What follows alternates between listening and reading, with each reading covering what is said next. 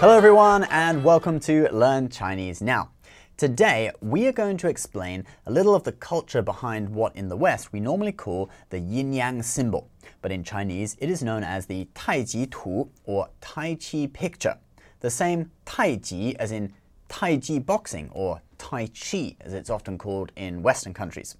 So the idea of yin yang refers to the two polarities, male and female, hot and cold, light and dark. The characters for yin and yang actually originate from characters meaning the sunny side of a hill and the shady side of a hill. Yang meant the sunny side of the hill, and you can imagine the sunny side of the hill is brighter, warmer, the plants are opening up to absorb the sunlight and growing outwards.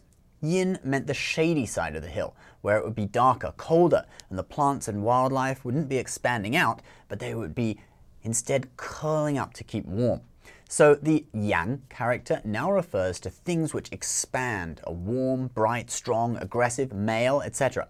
And yin refers to things which contract, are cooler, darker, weaker, gentle, female, etc. Now you might think, hey, I just heard that females are yin. Does this mean that ancient Chinese thought that women were cold and dark? Well, before you go on to protest the controversy all over the internet, like this guy did, let me explain some things. Yin and yang refer to two polarities that are observable in all aspects of life in the universe. It's more about the energy that something carries. Just because dark, cold, and evil are counted as yin energies doesn't mean that women are also evil. Uh, there have been some pretty evil men in the world.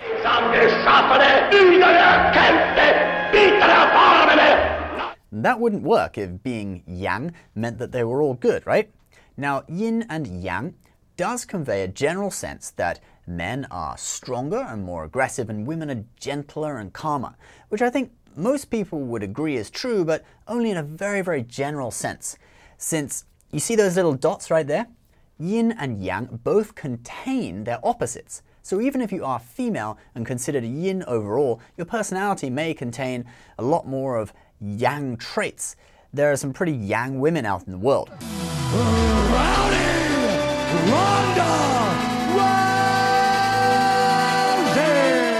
And the same goes for men, who may have more of a yin personality. Yin and yang can't survive without each other.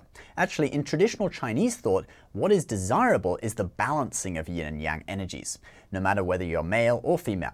This idea can be seen in Chinese medicine and also in the concept of marriage, a harmony between strength and gentleness that can produce life. Tai Chi Quan, or Tai Chi boxing, also uses the balancing of yin and yang, where when an opponent's yang energy shoots out, a practitioner will use their yin energy to absorb the yang energy and then make it shoot back out at the opponent. In Chinese medicine, different parts of the body are counted as yin and yang. For example, the back is yang and the front of the body is yin. Hit the palm of your hand. Doesn't hurt, does it? Now hit the back. Hurts, right? That's the yin side. In the words of the Chinese sage Lao Tzu, the way gives birth to the one. The one gives birth to the two, which are yin and yang. From the two come the three, which many believe are yin, yang, plus qi or energy.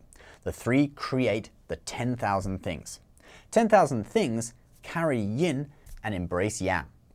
In traditional Chinese thought, yin and yang give birth to the universe's energy or qi, and yin, yang, and qi give birth to the 10,000 things. That's just a way of saying the myriad of things in the world, and all these things contain yin and yang. In the Book of Changes, yang is represented by a line and yin is represented by a broken line.